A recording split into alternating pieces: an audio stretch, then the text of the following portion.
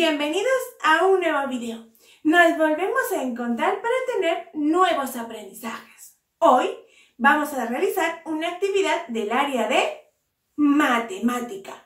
Así que vamos con nuestra canción que tú ya conoces. Hay muchas formas de saber y con mate yo puedo aprender. Hay muchas formas de saber y con mate yo puedo aprender. Sí. Un, dos, tres, cuatro y cinco. Cinco dedos tienen mis manitos. Un, dos, tres, cuatro y cinco. Cinco dedos tienen también mis piececitos. tres, cuatro, un, dos, tres, cuatro.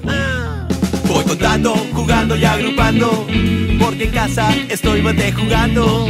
Voy contando, jugando y agrupando, porque en casa estoy mate jugando. Voy contando, jugando y agrupando, porque en casa estoy mate jugando.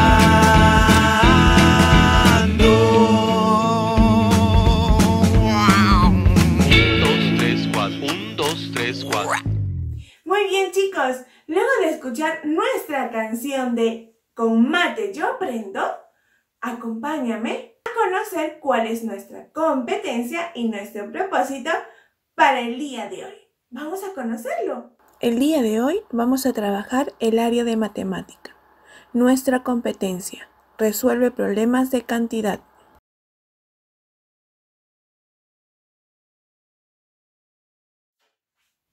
Fantástico chicos, hoy vamos a conocer dos números más. En clases anteriores ya habíamos visto hasta el número 16. Habíamos conocido el número 10, 11, 12, 13, 14, 15 y 16. Hoy vamos a conocer dos números más. Luego del número 16, ¿qué número sigue? Perfecto, el número 17. Luego del 17, ¿qué número sigue? Perfecto, el número 18. Entonces, el día de hoy vamos a realizar diferentes actividades para conocer el número 17 y el número 18. Perfecto. Vamos a iniciar con una actividad muy sencilla. ¿Listo? Te voy a mostrar una cantidad de elementos y tú los tienes que contar rápidamente y decirme cuántos elementos hay. ¿Les parece? A ver, vamos a comenzar. A la una, a las dos y a las tres.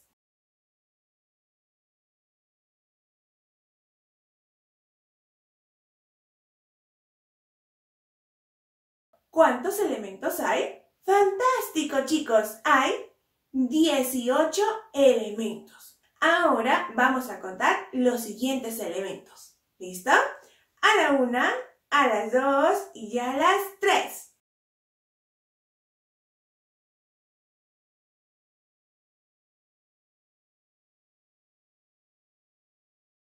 ¿Cuántos elementos hay? Muy bien, chicos. Hay 16 elementos. Vamos a contar ahora otra vez. ¿Listos? ¿Preparados? Uno, dos y tres.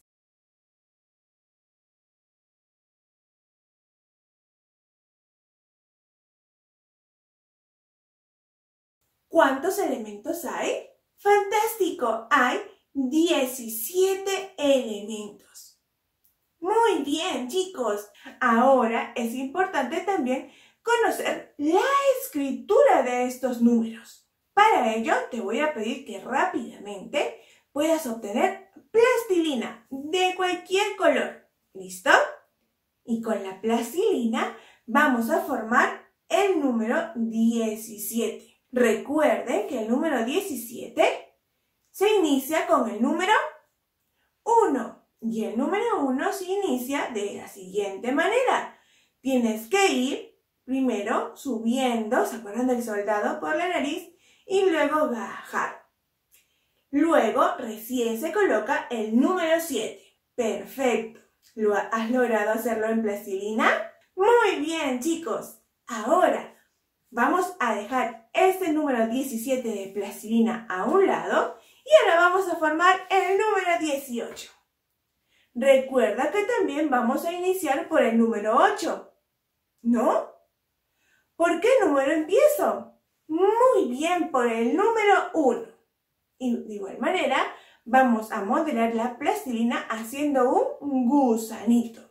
Vamos a iniciar el número 1. Perfecto, de esa manera.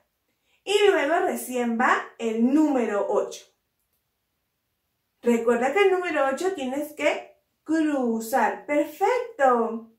Fantástico. Ese número 18 también lo vamos a poner a un lado porque luego también lo vamos a ir utilizando para recordar cómo se escriben los números. ¿Listo? Fantástico, chicos. Ahora, ahora vamos a, ahora vamos a realizar una actividad con los números representándolos con las cantidades y la representación gráfica, utilizando las decenas y las unidades. Para ello, vamos a utilizar los siguientes materiales. Nuestro cuaderno imantado, nuestro tablero imantado, nuestras figuras imantadas I5, donde están las flores y figuras geométricas, y nuestro imantado I1. Perfecto. Entonces, Vamos a trabajar, yo te voy a ir mostrando sobre la mesa los elementos y tú también desde casa. Muy bien chicos, vamos a trabajar en nuestro cuaderno imantado. Vamos a utilizar nuestro tablero, las figuras geométricas y 5 y los números con los cuadraditos rojos y azules que estaban en la lámina y 1. Voy a buscar en mi cuaderno la página número 7, que es esta de aquí, y debajo voy a poner mi tablero imantado, pero por el lado negro. ¿Listo? Voy a doblar para poder trabajar mejor. Y vamos a iniciar nuestra actividad. En el primer tablero posicional voy a colocar un número. Por ejemplo, voy a colocar el número. ¿Qué número coloqué? Perfecto, el número 16. Ahora, en la parte de acá arriba, voy a poner 16 elementos.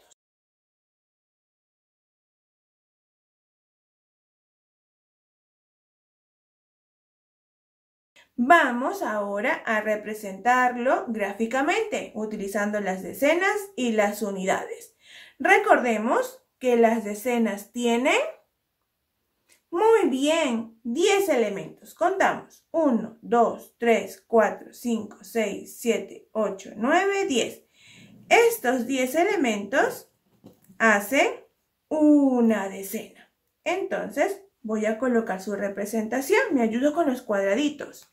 1, 2, recuerda colocarlos juntitos.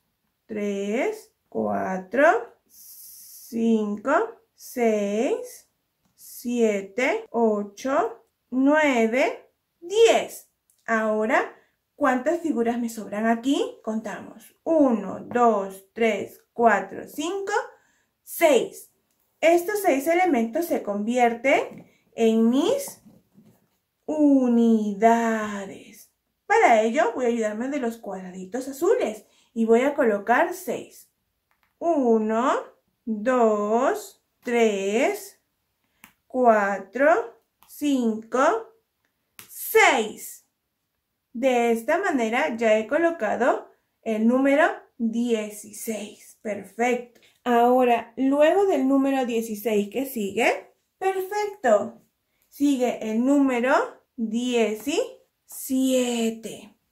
Entonces vamos a contar 17 elementos. ¿Listo? Comencemos. Ustedes igual hacen en sus casas. 1, 2, 3, 4, 5, 6, 7, 8, 9, 10, 11, 12, 13, 14, 15, 16, 17. Ya están los 17 elementos que representan la cantidad del número 17. Ahora vamos a representarlos en el tablero posicional. ¿Recordamos la decena? Dice que tiene una decena. ¿Cuántos elementos son una decena? Perfecto, son 10. Contamos.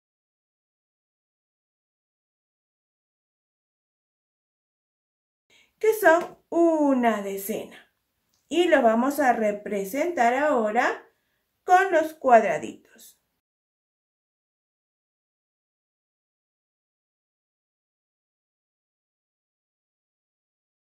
Ahora vamos a contar cuántos nos quedan. 1, 2, 3, 4, 5, 6, 7. Estas 7 se van a convertir en 7 unidades. Y lo vamos a representar con los cuadraditos azules. 1,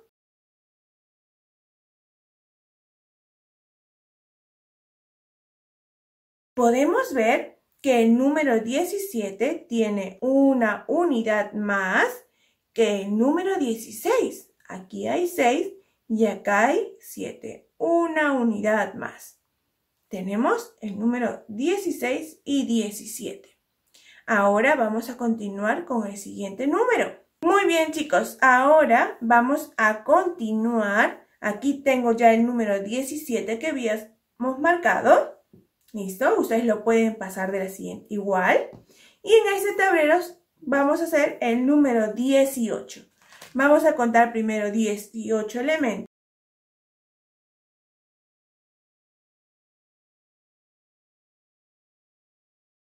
Recuerden, la decena tiene 10 elementos. Vamos a quitar los 10 elementos, ¿les parece?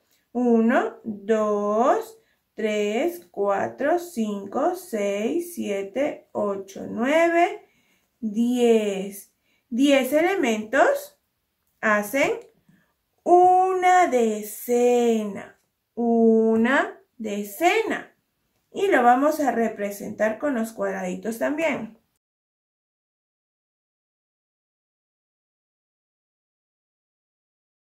Ahora vamos a representar las unidades. ¿Cuántas nos quedan?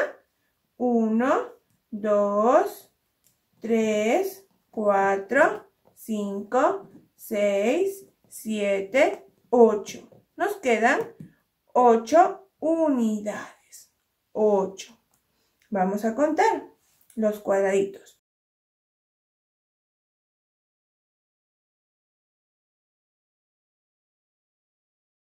Y ya tengo formado el número 18.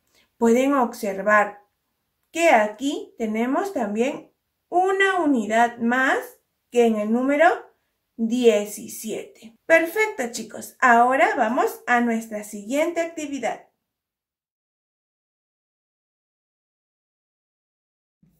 Muy bien chicos, ahora vamos a utilizar nuestro cuaderno de trazos y números. Vamos a irnos a la parte de números hasta la página número 25. En esta página, lo primero que vamos a hacer es colocar una mica encima y repasar el número 17 con nuestro plumón de pizarra. Y repasar el número 17. De la siguiente manera los números más pequeños que pueda repasar, voy a hacer lo mismo. Recuerda seguir la linealidad del trazo. Luego de repasar, vamos a contar cuántos cepillos hay. Vamos a quitar la mica y lo vamos a guardar en su sitio. Ahora vas a utilizar la plastilina con la que armaste el número 17 y la vas a colocar en este número. Luego, con tu lápiz, vas a repasar y completar el número 17. Recuerda que los puntitos rojos son el punto de inicio. Al terminar, vas a dar la vuelta la página número 26. En esta página vas a contar y pintar 17 estrellas. Luego vas a encerrar en un círculo esas 17 estrellas que has pintado. Recuerda que tiene que ser un solo círculo. Vamos a ir con la otra página. La página número 27. Vas a utilizar tu mica y vas a colocarlo encima de tu ficha. Con un plumón de pizarra vas a repasar los números 18. Recuerda que el punto rojo es el punto de inicio para hacer los números. Comenzamos de arriba, giro y me voy. Luego vas a contar cuántas tijeras hay. Al terminar, vas a guardar tu mica y con tu plastilina que has formado el número 18, lo vas a pegar en este número que está aquí. Luego, utilizando un lápiz, vas a repasar el número 18 y a completar la hilera. Recuerda que el punto rojo es el punto de inicio. Cuando termines, voltea la página y mira, en la página número 28 nos vamos a encontrar con un animalito. ¿Qué es? Perfecto, un dinosaurio. En esta página vamos a unir los números desde el número 1 hasta el número 18 para completar el dinosaurio. Cuando termines, vamos a colorear. Muy bien chicos, luego de que termines tus actividades del cuaderno de trazos y números, tómale una fotografía y envíaselo a tu tutora vía Cianet.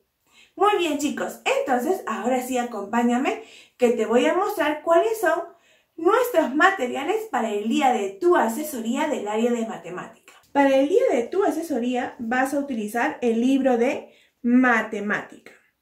La página número 91 y la página 93 y los stickers S4. No olvides tu lápiz y tus colores. Muy bien chicos, el día de hoy hemos hecho diferentes actividades para poder identificar el número 17 y el número 18. Fantástico, lo han hecho súper bien. Sé que sus actividades se han divertido. No se olviden tener sus materiales preparados para el día de tu asesoría. Nos vemos hasta el siguiente video chicos.